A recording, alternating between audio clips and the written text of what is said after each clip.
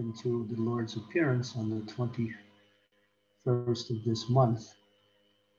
So we're now going to enter into the mood of Ram. It is mentioned in the Brahma Samhita, Ramadi Murti Shukalani Amena Tishtan, Nanavatar Akaro Bhuvanesh Kinchu, Krishna Swayam Samabhavat Paramam Pamanyo, Govindamadi Purusham, Tamaham Vajami. The Brahma Samhita, spoken by Lord Brahma, uh, glorifies the Supreme Personality of Godhead, Sri Govinda, Sri Krishna Govinda of Sri Vrindavan Dham.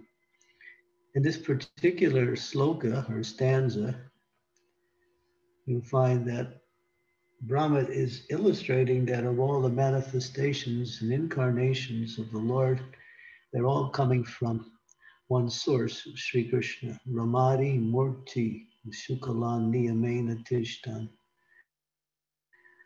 And he emphasizes that the principal incarnation of the Lord is Sri Ramchandra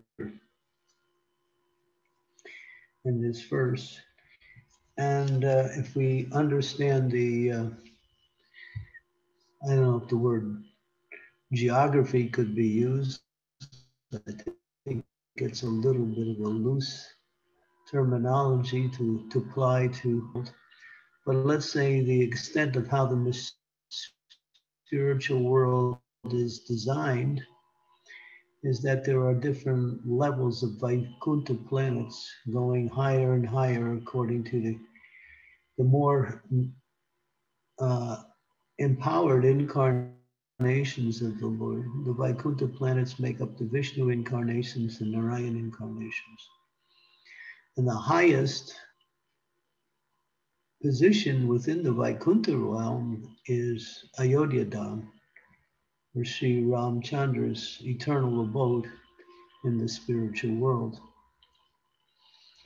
So, this particular manifestation of the Godhead is practically on the same level of Krishna, only the only difference is that he is in the mood of Aishwarya Bhav, Lord Krishna is in the mood of Madhurya Bhav, which is the realm of Sri Vrindavan, where Aishwarya is simple village life, and Madhurya is the sweet relationships that Krishna has with all his devotees in the spiritual world. Ram appeared as a king surrounded by great royalty and opulence. And he was worshipped in that mood of Aishwarya. The story, or the, we might use the word, better word, is the life of Sri Ramchandra on this earth is a very detailed explanation. And this detailed explanation, uh, although the foundation for this knowledge as it emanates outward is coming from the land of India. But throughout the Asian world, practically in all the Asian countries, um, the Ramayan is there.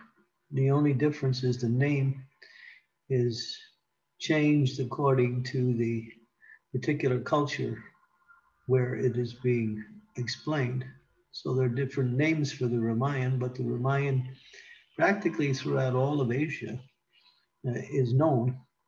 Of course, unfortunately, it is seen by some scholars and so-called learned persons like to relegate the activities of Ram to some legendary story that has a very powerful moral and aesthetic message to it along with spiritual principles. And they don't understand or they don't take the time to understand because they they try to secularize everything they study and do and relegate it on the material level.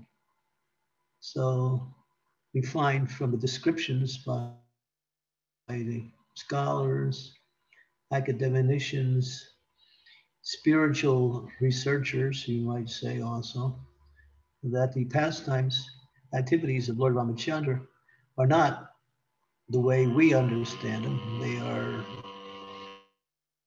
something less than the principles of the, the activities of the Supreme Personality of Godhead who has come in that particular form. But we take the highest authority, and that is the acharyas, the pure acharyas who will come in line of disciplic succession from Krishna himself. We also take the authorities of the scriptures. Um, we take the authority of the presence and spiritual masters. So we have enough understanding that, you know, pastimes of the Supreme Personality of Godhead are displayed throughout the history of humankind. And this particular pastime of the Lord is uh, more than two million years ago. It happened in the Treta Yuga. There were four yugas, Satya Yuga, Treta Yuga, Dwapara Yuga, Kali Yuga. So two million years ago, in this particular Yuga cycle, the Lord appeared. Later on, this was written down as a Shastra in a late in another yuga by um, uh, what's his name?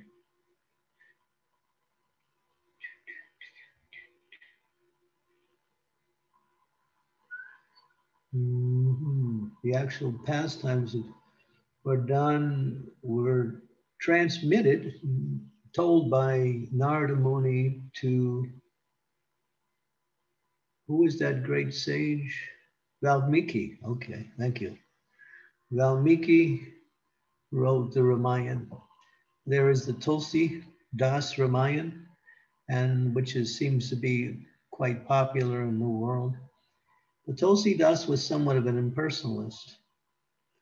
And he enters and he mentions a lot of impersonal principles within that. Although his Ramayana is very beautifully expressed. It lacks the complete personal presentation that is the essence of the Lord's presence on this earth. Uh, Valmiki's Ramayana was inspired by uh, Lord Brahma himself to Narada, and Narada inspired uh, Valmiki to write down the Ramayana. And uh, so that was um,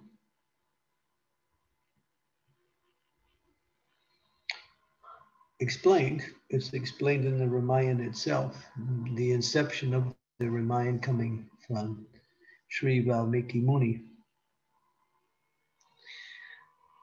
Um, Valmiki had been a murderer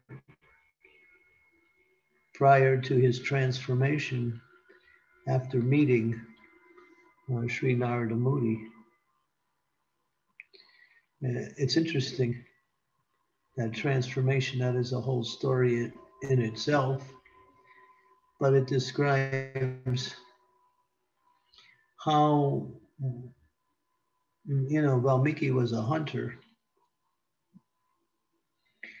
And uh, Narada came when he saw Narada, he then understood that this person is a great sage. So he actually started to worship and honor Narada in a very wonderful way. Narada was pleased by his worship and started to speak to him. And then he said, You should actually chant the names of the Supreme Personality of Godhead Sri Ramchandra. You should chant the names of Ram.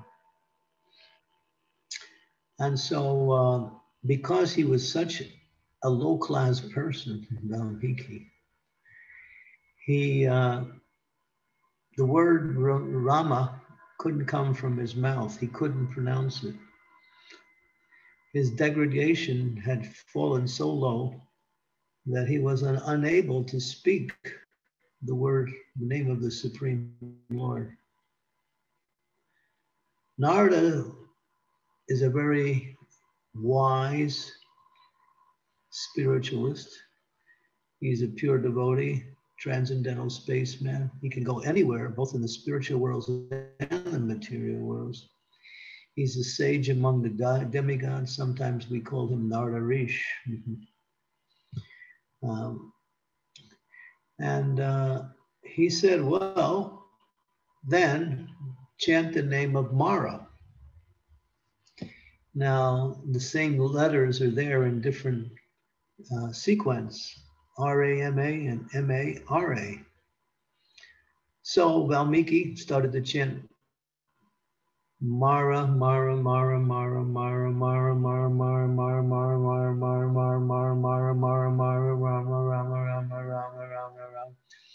And after some time, after chanting the Lord of Death, Mara indicates the Lord of Death, which we might say is another name for Yamaraj. Um, he, be, he was able to chant the name of Rama this is the power of saintly association. Simply by that association with the great sage Narada Muni, this low class hunter actually became a great Vaishnava. And so much that he was empowered by Lord Brahma later on to write, a, to write the entire Ramayana, the life of Ram. And how did he do it? He did it through his meditation.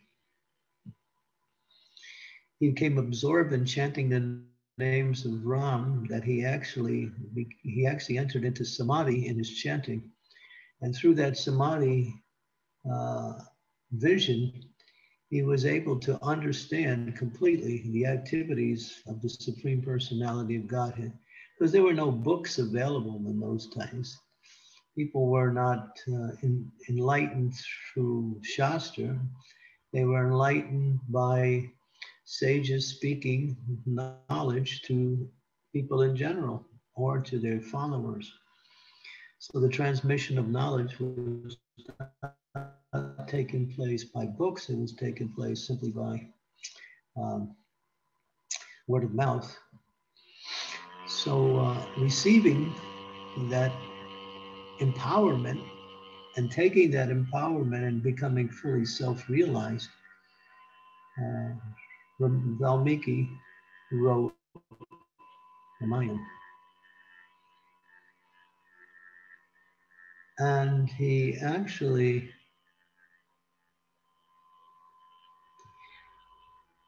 it's interesting too because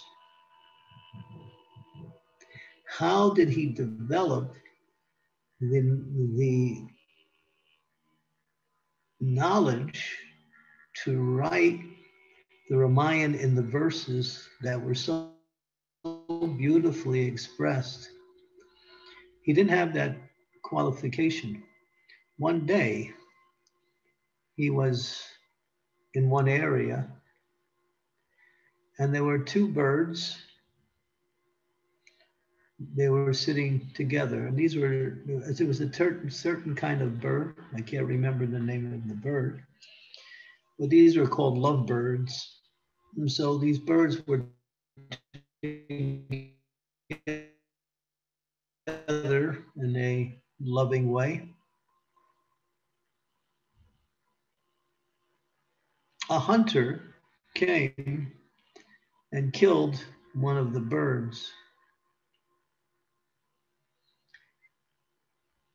Valmiki saw this and he became really angry.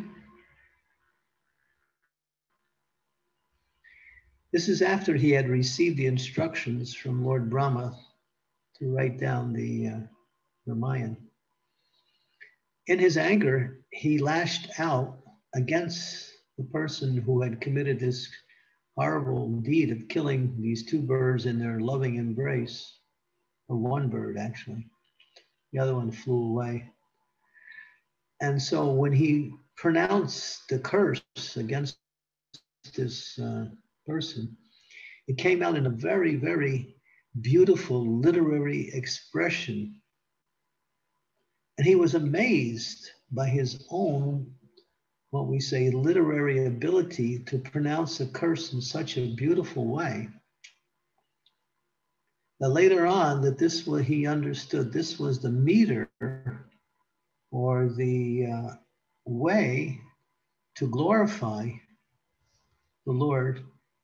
And so he wrote down the verses, and uh, yeah, later wrote down the verses in, uh, in that meter. It's interesting how he was able to discover through an apparent difficult negative situation the means by which he could express the knowledge of the life of Lord Ramachandra. Uh, we'll speak a little bit about Ravana. Ravana was the, his father was, his name was Vishrava, and his mother was born from a de- demon called Sumali. Excuse me a minute. I think I have someone at my door knocking, and I'll be right back.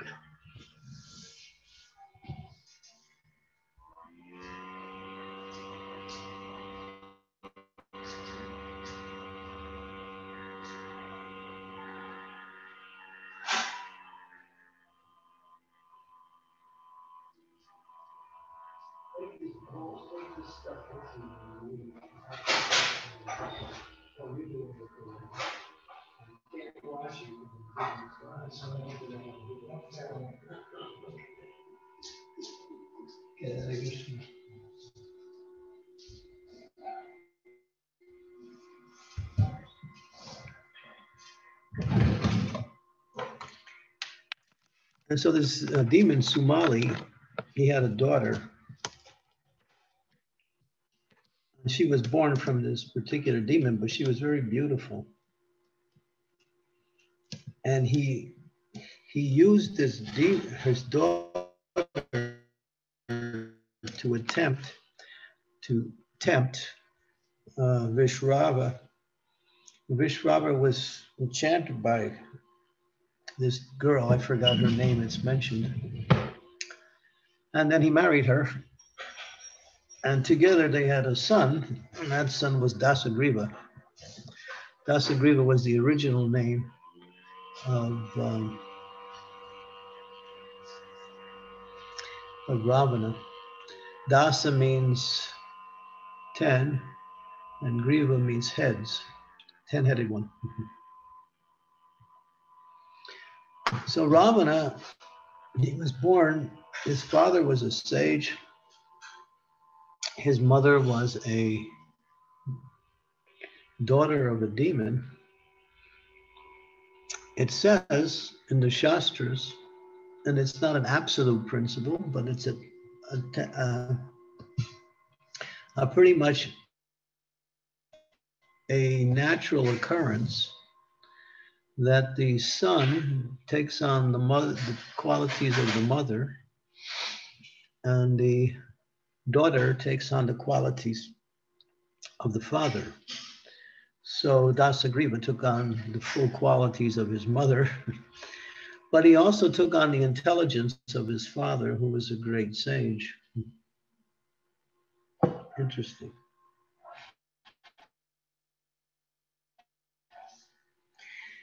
Demons that were happening in the heavenly planets around that time.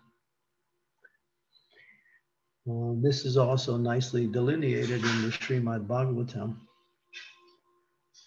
Ravana went on, went on an exploit one time, and he decided to increase his power and uh, cause more and more problems. This is the business of the demons. They simply cause problems to others. This was Ravana's program here. And um, oh, let's go back a little bit. Um, Ravana had performed tremendous austerities. Just like Hiranyakashipu would perform tremendous austerities in uh, from Lord Brahma. Ravana stopped eating, stopped sleeping. He followed mora- mora- morality for 10,000 his heads.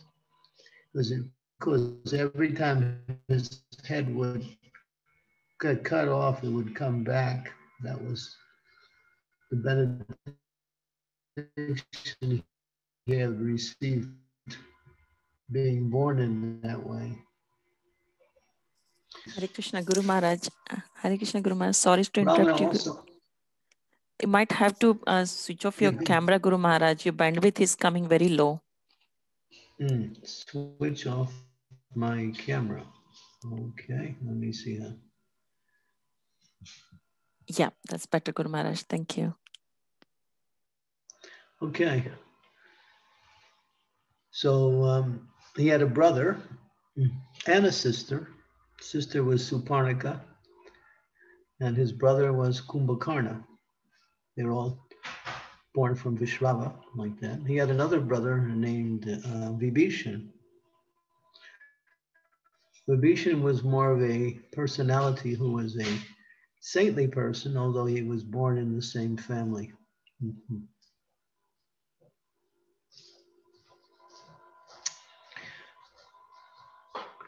Um, Vishrava had another life, and that was um,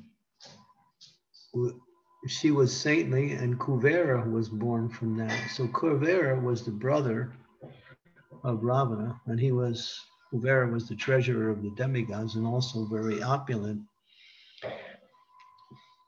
We'll hear about it later, but I'll just mention it that there was uh, that Ravana was envious of his brother Kuvera from for his opulence, so he attacked him and defeated him and took his uh, Pushpaka chariot, the one who could fly through the air like that. Okay. One minute, I'll be right back. Let me just save everything. This shouldn't be that, should be straight.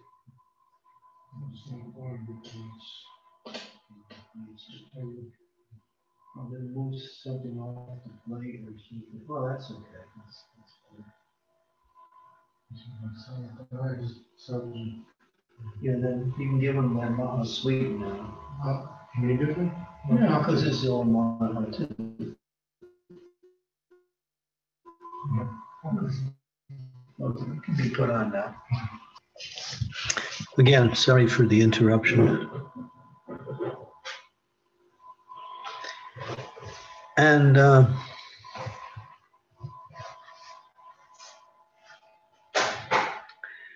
so, being jealous of Kuvera, he challenged him to fight and defeated him and stole his his chariot, which was a mystic chariot that could fly anywhere and was equipped with all kinds of opulences. It was practically a city in itself. So Ravana, no eating, no sleeping, he's cutting off his heads. Kumbhakarna was fasting and standing on one leg. So Brahma appeared to them and said, You have pleased, pleased me by your uh, austerities. What benedictions do you want? And so Ravana said, Well, I want to be able to not be defeated by the demigods, by the sages, any animals, anything. He, he named so many different personal, different categories of living entities that he, wa- he wanted to be free from being defeated by. But when he came to human beings, he said, Human beings, You know, we are Rakshasas. They're just insignificant people compared to us. So don't even give me that benediction. It's even an insult. That's why the Lord appeared as a human being to keep the benediction of Lord Brahma. Now, Kumbhakarna, he was a monster. And uh, he was about to receive a benediction like that.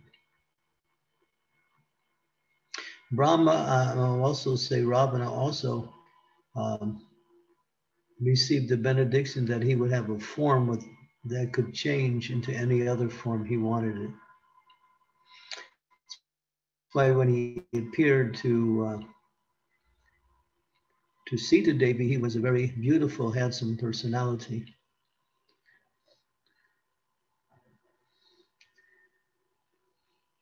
And he also, that every time his heads would cut off, he received the benediction that the head would grow back like this. Now, when he came to giving a benediction to Kumbhakarna, uh, uh, the demigods started to speak to Brahma and say, Brahma, you know, you're, if you give a benediction to this person, he's going to destroy everything. Kumbhakarna was this gigantic monster. And he was already causing so much havoc. So Brahma considered what the demigods had said, and he went to his wife Saraswati, who is the goddess of speech, also, goddess of learning, goddess of speech. And he said that when he asks for a benediction, you enter into his voice and make the arrangement.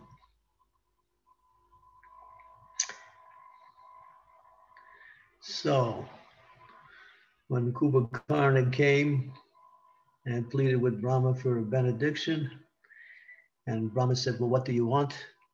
He was about to say, He said, I want And then Saraswati came in and said, Sleep. And Brahma said, Tatastu. Benediction granted. What? When Ravana heard, you can't do that. You can't give him a benediction just to sleep. This was what he asked for. Kumbhakarna was bewildered by Saraswati's, you know, mystic power.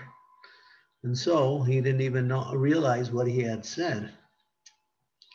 But then Ravana said, well, make some alteration. He said, well, all right, then he can one day a year, he can come out of his sleep. He'll sleep for 364 days a year. And then one day he'll come up and he'll, uh, he can eat and sleep and live one day awake. And so that was the, what we say, the altered benediction. That's why Kumbhakarna was always sleeping because Saraswati, under the, under the instructions of Lord Brahma, had tricked her, him into saying that. And then we came after that. This was after that, and Ravana, with all his benedictions, he, he attacked his brother Kuvera and took his chariot. When he was traveling throughout different areas, he was coming over some really forest areas with the chariot that he had stolen from his brother. And uh, he noticed, looking down, he saw, wow, this, there's this beautiful girl down there. Who is she? she's all alone. And so he decided to travel closer. And then when he got very close, he noticed that she was charmingly beautiful. And she was in a mystic meditation. He came closer to him, her, and then he changed his form into a beautiful person and started to entreat her with various words. she understood who he was, but she was very polite to him. At the same time, she said, Well, actually, my father has given me a benediction that the only person who can become my husband is Lord Vishnu himself. So I have given my heart to Lord Vishnu, and in due course of time, I will become his wife. This girl's name was Vedavati. And she was from, yeah, the Anaranga, the Raghu dynasty. Ravana didn't like that. As soon as he heard the name Vishnu, he became very angry and uh, started to try to attract her in so many different ways, like offering her all kinds of opulence. He's told her, you know, what you're doing, austerities and penances, this is for elderly people. You're so young. You're at the prime of your life. Come with me, become my wife. I will take you to the city of Lanka, which is full of opulence and gold, and you will live a life of luxury and she was an interesting. She knew what Ravana was all about. And so she just practically ignored him. So Ravana became angry and came close to her and grabbed. She had long hair that was fixed in a braid. So he grabbed her hair to pull her, but she had mystic power and she created a knife that appeared and cut the braid where Ravana was holding it, and he fell back. And then she looked at him in an angry way, and she said, You rascal, because of your sinful activities, you will be destroyed by a woman. And then she said, Now, because you have touched my body I have become impure by your touch. Therefore, I'm giving up this body. And she went into mystic meditation and raised the fiery element in her body and burned her body to ashes right in front of Ravana. And she was gone. Ravana you know, gets back on his chariot and starts continually wandering around. He goes from place to place. Finally, he comes to another girl, and uh, she was the wife of Nalakuvara, those two demigods, Nalakuvara and Manigriva. And uh, she was there, and she was also doing austerities and penances. Ravana didn't waste time this time. He went right there and he violated her chastity. She became so upset and so that she told her husband, Nalakuvara, Nalakuvara cursed her, cursed him by saying, you know, you will die by that if you forcibly, this was the thing, if you forcibly push yourself on any woman, you will immediately die. That was the curse. Ravana wasn't even didn't even care about the curse, but later on he considered it when he after he had captured uh, Sita Devi. He didn't. He kept that curse in mind. He was thinking maybe it does have some value. So he didn't force himself onto Sita Devi.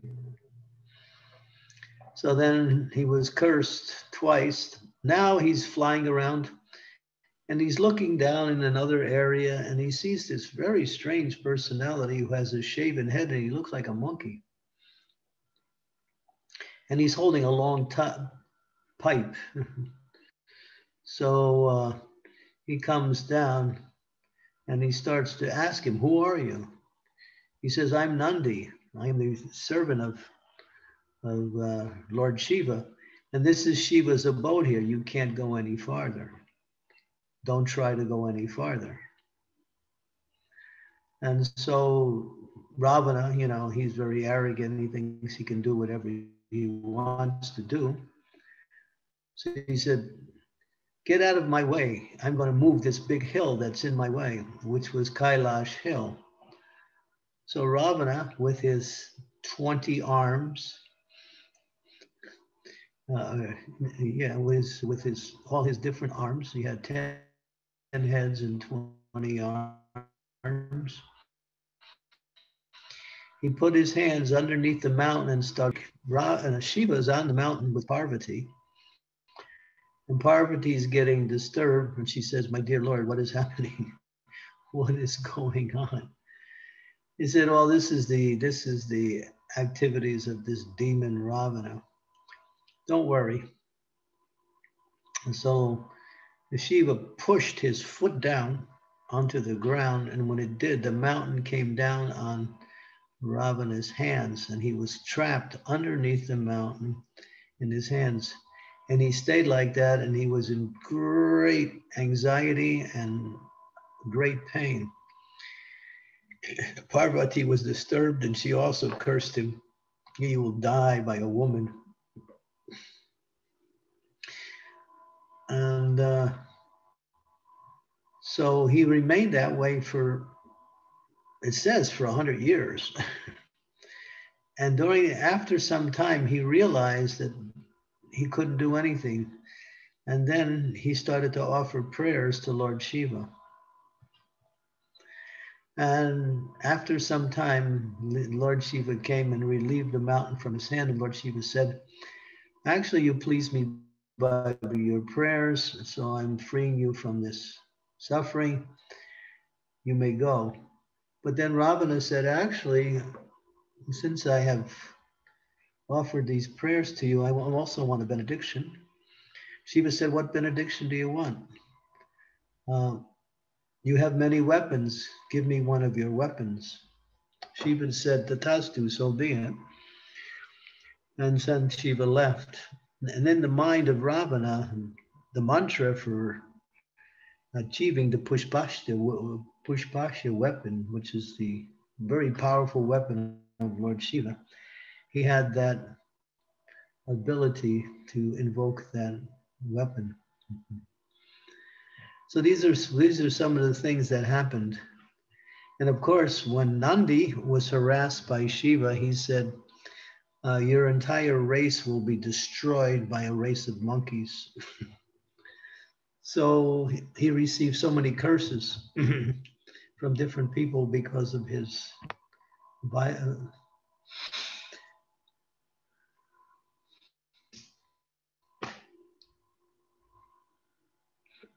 So this is a little bit about the prelude of this up and coming epic known as Ramayana. That's not an epic, it's actually a factual historical uh, recounting of the life of the Supreme Personality of God and as he appears on this planet. So, to beginning tomorrow, I'll start to narrate the actual story of the Mayan itself. The preludes that surround the history of the Ramayan. Okay.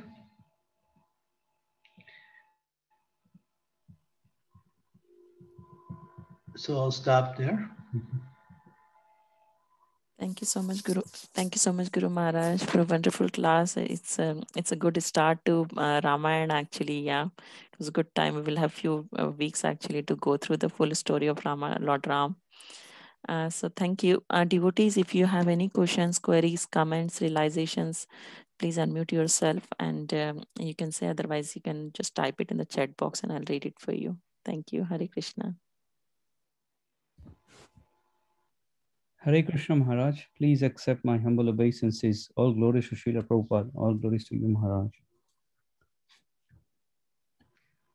Hare Krishna Diptesh. Hare Krishna Maharaj. Maharaj, uh, just a comment. So I, I, think it would be very nice, uh, wonderful to hear the, the Ramayan uh, to, in the build up to the Ram Navami. I also, uh, it's just uh, a comment as such. I also find um, the Ramayan, which was written by uh, Bhakti Vikashit Maharaj. Um, I I'm trying to read this to the children for the last couple of months, you know, couple of pages a day. Uh, and we also find that quite interesting. And what we find, there are so many things that we have seen from the TV episodes or serials that they made. Um, it doesn't exist in the Valmiki Ramayan. So. Yeah, they use Tulsi Das's Ramayan. Yes, correct. Tulsi Das is more important and as far as eh, he's more popular as the author of the Ramayan, but from the Vaishnav perspective, we accept Valmiki's Ramayan as being more complete and more authoritative. Tulsi Das mentions some, he leaves certain parts out, but he also mentions the beautiful wedding ceremony of Sita and Ram, which is one of the most beautiful parts of his. The poetic expression of Valmiki's Narayan is very beautiful, but because he he has some impersonal tendencies, and it also comes out when he describes different details of the Ramayana. We cannot accept that version of the Ramayana. As Vaishnavas, we accept uh, Valmiki's Ramayana. And the best one, the best version you can get from Valmiki's Ramayana, which is available today through um, ISKCON, is Krishna Dharma Prabhu from London. Yes. He did a beautiful rendition of the Ramayana, and that's one of my favorite. I think I've read it at least six or seven times. So you can, yeah. So that that one is based solely on Valmiki Ramayana. Yeah, and I'm thinking, I think Bhakti Vikash, his is just one small book. Yes. It's not very, it's not very lengthy. Uh, Krishna Dharmas is a lot longer and more concise and uh, more complete, I think. Um, Bhakti Vikash Maharaj really goes into the story of Rishi Shringa. Did you get to that part yet? The story of Rishi Shringa? Uh, no. Is it in? I'm in on the Yudh Kand. I just started the Yudh Kand. So. Oh well, yeah, it's right towards the beginning. It's, it's in Krishna Dharmas also, but um, Bhakti Vikash Maharaj really covers that particular part of the prelude of the Ramayana. It's part of the prelude which leads up to, to the appearance of Lord Ram, the story of Rishi Shringa. I'll, I'll speak about that tomorrow. Thank you, Maharaj. Yeah. But the other so, comment, the other thing as well, Maharaj, there is a very, very subtle difference between impersonalist and personalist. Because I mean, I, I've never I've never considered. Uh, I mean, I, I don't that I not that I research uh, a lot of these uh, personalities, but Tulsi Das, you would have normally thought that to be a, a personalist, not an uh, impersonalist or a Mayavadi viewpoint. Sometimes not completely. He mixed both of them in. Ah. But there are statements like that. Um, personalism and impersonalism are two aspects of the supreme personality of Godhead. Vedanti tad vidyams tad jnanam avyayam brahmeti paramatmaiti bhagavaniti subjite. The supreme absolute truth consists of Brahman, Paramatma, and Bhagavan. So Brahman realization is the realization given by the impersonalists, the all-pervading energy of the Lord that exists everywhere. But we don't deny the impersonal realization or the inter, uh, impersonal aspect of the absolute truth. But from the position of bhakti, bhakti means person. Bhakti means relationship, bhakti means love. And you can't develop that type of relationship with an energy.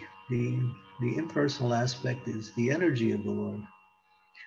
And the beautiful analogy that really illustrates it is you have the sun and you have the sunshine. You can't separate those two, the sun and the sunshine. Sometimes we even refer to, to the sunshine as the sun, but it's the energy of the sun known as sunshine.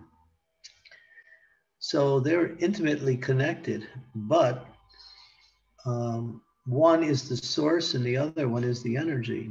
So Krishna, the supreme personality of Godhead, is the source of everything. And his energy, the spiritual energy, the Brahmana effulgence, and pervades all of existence. And that is the impersonal understanding. And that's realized by the Gyanis and the yogis who practice austerities, penances, and various types of meditations. It's the goal of the Astanga Yoga process.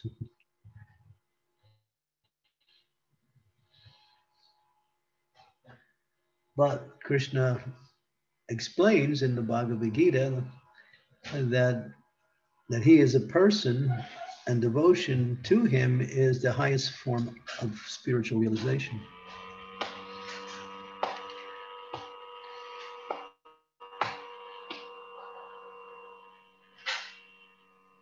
if you really are interested in learning a lot more about this relationship between personal and impersonal, then you can read the discussion between Lord Chaitanya and Sarvabhauma Bhattacharya and the Chaitanya Charitamrita.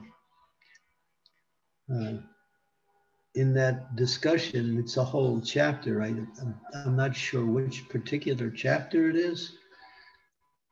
Um, but there's a whole understanding of the difference between the two. Mm-hmm. But impersonalism is a feature of the absolute truth. It's not like it doesn't exist or it's some concoction. No, it's an actual existence, but it's it's a limited existence. It's not the perfection of the absolute absolute truth's nature. Mm-hmm. Thank you, Maharaj. I will I will look it up. Thank you. Yeah, it's a nice discussion, nice nice chapter to read. It's really detailed, and then Prabhupada's purports really bring out the the main points. Mm-hmm.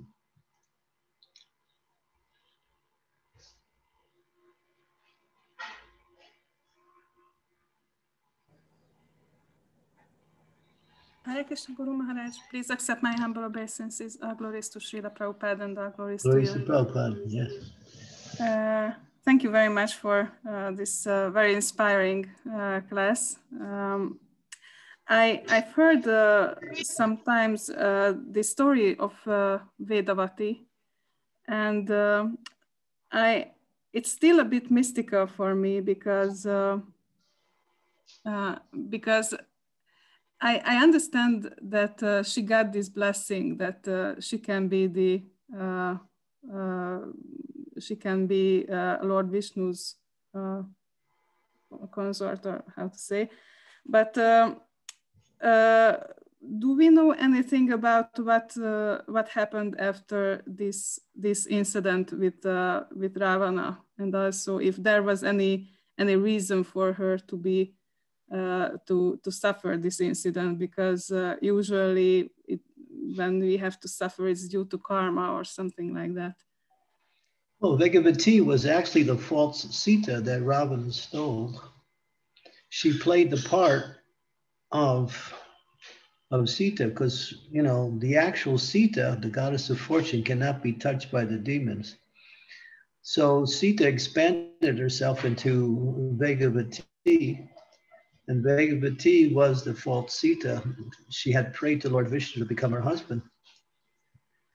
And she got that benediction because when she initially approached the Supreme Lord, Rav, Ravana, this is even before that, uh, Ram, she, Ram said to her, in this incarnation, only one wife. and she was thinking how to get that mercy. So the Lord gave her the mercy, and she was Vedavati was the false Sita. So she actually played the part of the Lord's wife. The real Sita came out of the fire at the end. That was the whole story. After that, when when Sita Devi entered the fire after the battle was over and Ram had brought Sita back, that's when the real Sita reappeared. Before then, it was Vedavati. Who, uh, so she got that opportunity to be the, the wife of the Lord. Oh, I see. Thank you very much for clarifying. Okay. Yes, yes. Thank you very much. Hare Krishna. Yeah, she couldn't do that because he said only one wife. But she she had she had qualified herself to become the Lord's wife. And so he gave her that mercy.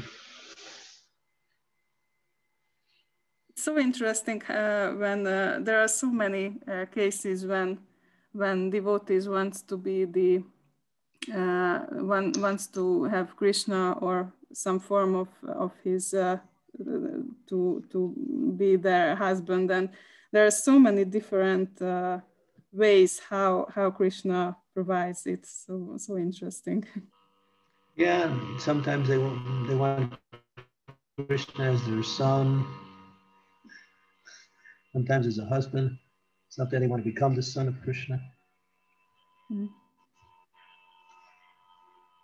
But it's not for everybody. It's only for those who qualify themselves.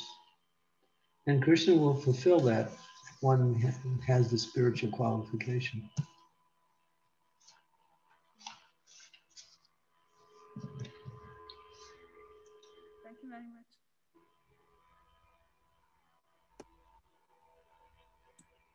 Hare Krishna Dipti, yes, you can go ahead.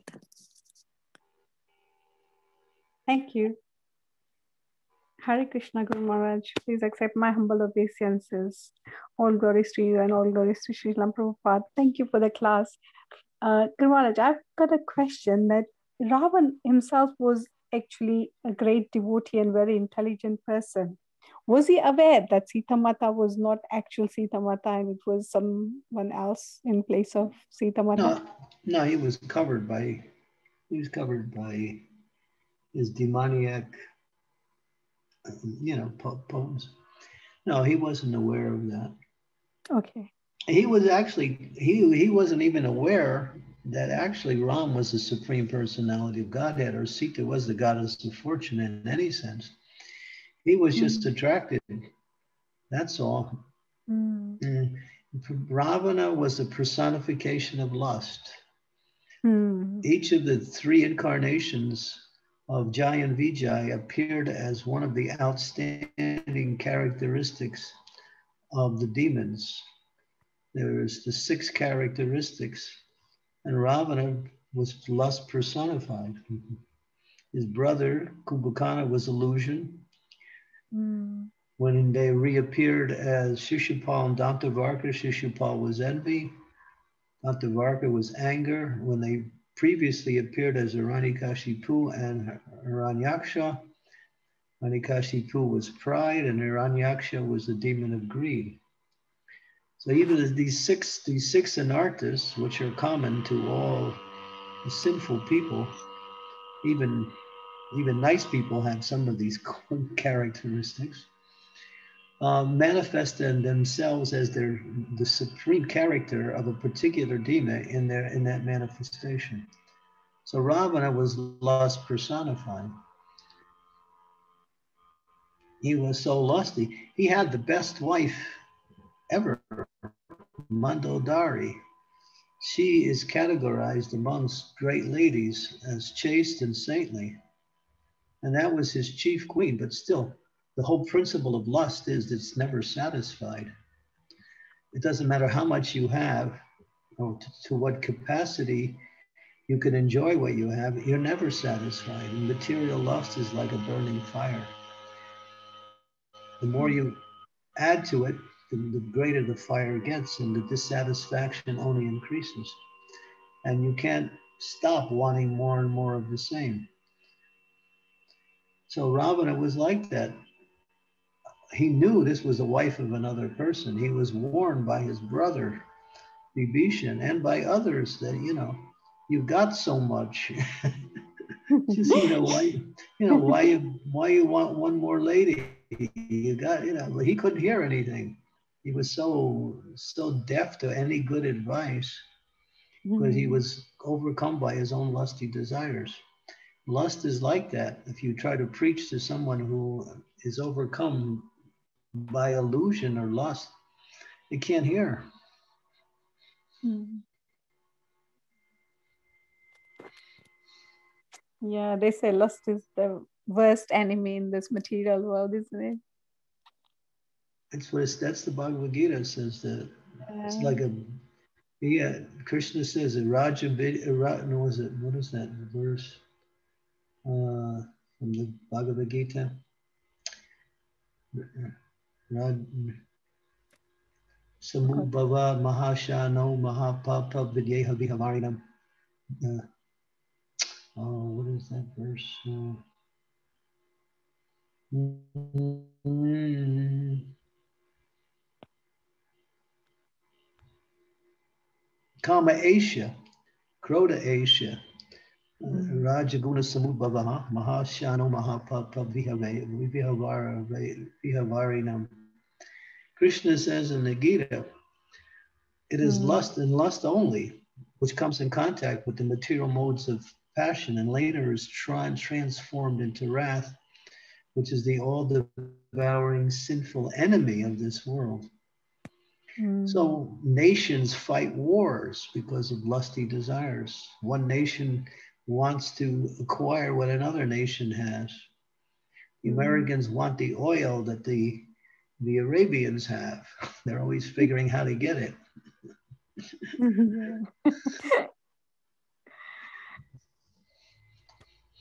they fight wars.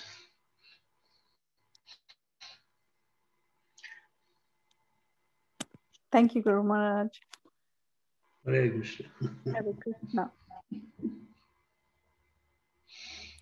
Yeah, Sri Devi Mataji, you can go next. Thank you, Anjali.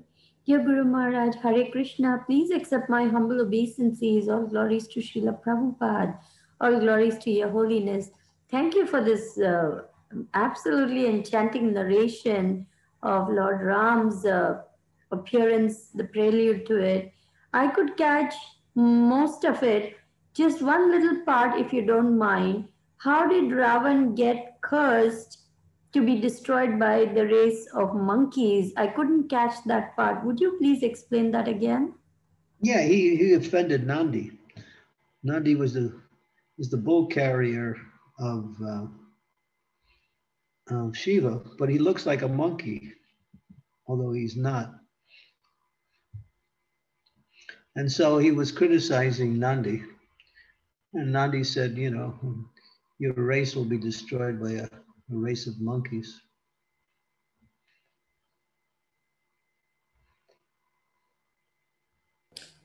Thank you so much, Guru Maharaj. Yeah, if you read the prelude, the prologue, it's actually called prologue of uh, Krishna Dharma's Ramayan.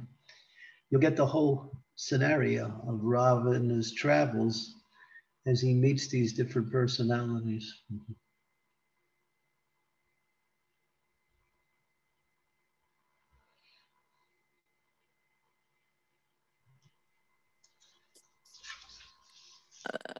So thanks to Devi Mataji. Uh, Guru Maharaj, there is a question from Janva Mataji uh, in the chat. Uh, I'll read it out. Hare Krishna, thank you for the lecture. What is about the process of dematerialization of great book like Ramayana? Is it better the hard copy or mere handful the immaterial one?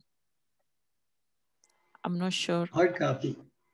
Yeah, better to read it right from the book.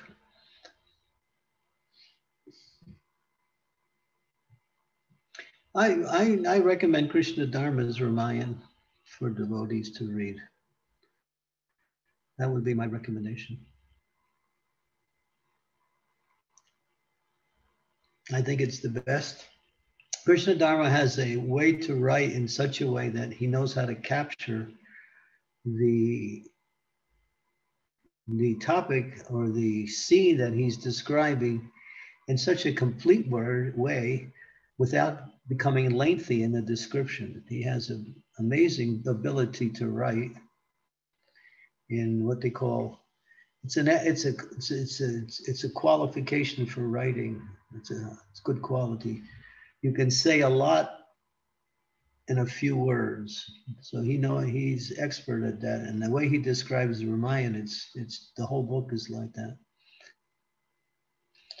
Every sentence is filled with so much so much information and description of what's happening, but it doesn't go on and on. It gets right to the point. Yeah, so it's it's one of the best presentations on the Ramayana.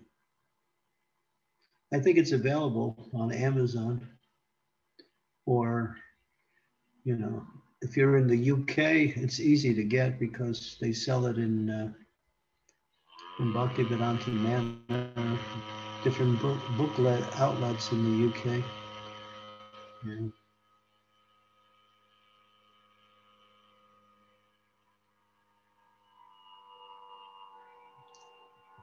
So Sridevi Mataji and Diptesh Prabhu has shared the link in the chat if anyone want to have a look.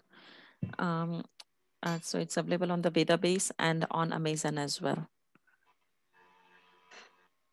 Thank you. I would suggest the devotees, you have about 10 days before the appearance of the Lord. Take these 10 days and read the Ramayana. There's another interesting Ramayana that is available. It's by a devotee named Subha Vilas, where he puts out, there are seven khandas in the Ramayana, seven sections of the Ramayana, they're called khandas. And he has put out the first five khandas in print. Um, his Ramayana is really amazing. I don't know how to describe it. Um, when I get a copy of his book, the next Khanda, I sit and I finish it in about two days, usually. I sit for hours and just read it. It's just, he has a shakti for writing that is unbelievable. And he combines two different Ramayans as a basis for his Ramayan, which is Kambi's Ramayan. There's another Ramayan called Kambi's Ramayan and Valmiki's Ramayana. Kambi was another person who wrote the Ramayana. Maybe very few people know about Kambi's Ramayana. Kambi was a Sri Vaishnava living in the area of Tirupati and he wrote the Ramayana. And then he presented to the assembly of Brahmanas there. And they criticized him for writing the Ramayana. Who are you? You can actually write Ramayana. He said, no, this is authentic. And this is the Ramayana. They said, well, you're going to have to prove it to us. We don't accept that. He said, I'll prove it and there was a deity of Lord Shiva in the temple. So Kambi arranged for all the Brahmanas to come along with himself. And Kambi himself read the entire Ramayana to the deity of Lord Nrsingadev, was Lord Nrsingadev's deity. And Kambi said before, he said, the Lord will give confirmation and then at the end of the reading, lo and behold, Lord Nrsingadev took his arm, the deity, and raised it up in the air in a, in a mood of confirmation. Everyone saw it.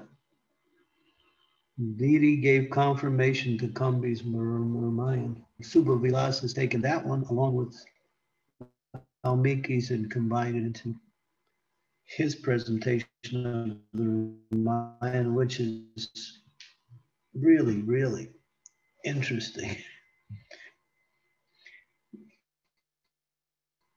There's a lot more detail in the Ramayana.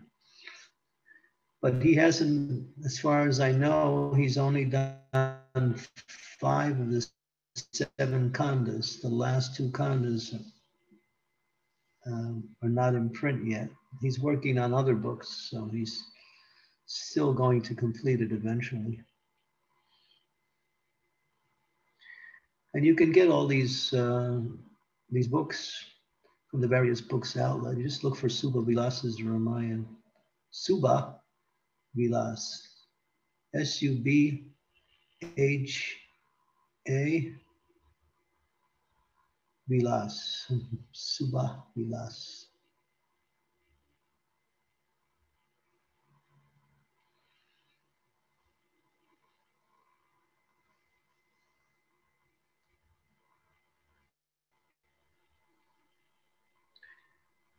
So thank you so much, Guru But Maharaj. With the time, time frame we have left, yeah, with the time frame we have left, just whatever remind you can get, read. We want to try to try to complete it before the Lord appears on the 21st. Mm-hmm. Thank you, Guru Maharaj. Radha Nice Mataji, do you have a question? No, she doesn't. Okay, uh, so Guru Maharaj, I think we are 15 minutes over. Uh, Radha Vinodini Mataji, do you want to, do you have any question? Just one sh- short one, if it's possible. Yes, go on, Guru Mataji. Um, that uh, a few days ago I, I started to read uh, uh, this uh, Ramayana you mentioned, Guru Maharaj, this uh, Shubha Vilas Prabhu's. And uh, I also uh, listened to, uh, to some classes from him about uh, this topic. And uh, he spoke about uh, how many levels the Ramayana has, and uh, that uh, it's actually not really possible to understand without the guidance and uh, and he he really extracted it in such a way that it was just unbe- unbelievable. And how is it possible to to to understand it like that for us? Because as I saw, these Ramayan books are mainly the story part, and uh, and we cannot really see these these levels which which it holds. Well, in his presentation, he he points to the different messages that are being given page by page. So every page at the bottom of the page, he footnotes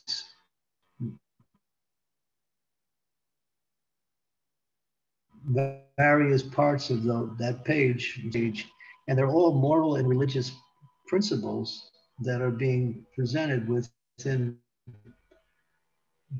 the storyline. So he he's digging in deeper into the into the messages that and that's how he writes. He always looks for the messages in everything in all his books. And he brings out the messages as uh, as footnotes. They're kind of like footnotes, but they're actually messages of the different different stories in in in the uh, storyline, different messages in the storyline. And the Ramayana is full. It's it's uh, There's so really many stories, so many messages. Yes, uh, Yeah. he, I That's a that's a lifetime study. I, I listened to uh, one of his classes, which was just about the meeting of, uh, of Hanuman and uh, and Sugriva and Lord Ramachandra, and uh, he spoke so much about it, and it was so many messages there that it was unbe- unbelievable story which could fit for one page, and and lot, lots of messages. So yeah, I, I really started to appreciate uh, uh, Ramayan very much.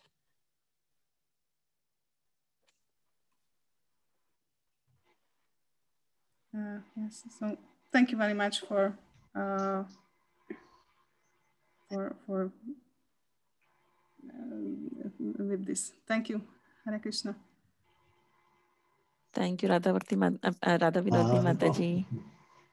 And uh, I guess Guru Maharaj, we can uh, close the call. Okay, so we can. Okay, thank you, and we'll see you all tomorrow for the beginning of the Ramayana. Jai, Srila Prabhupada ki jai. Jai. Thank you. You. Thank you. जय वंशकल्पतरुभ्यश्च कृपा सिन्धुभ्येव च पतितानां पावनेभ्यो वैष्णवेभ्यो नमो नमः जय शिल प्रभुपाद की जय गुरुदेव की जय और जय। कोटि वैष्णव वृंद की जय Hare Krishna. हरे कृष्णा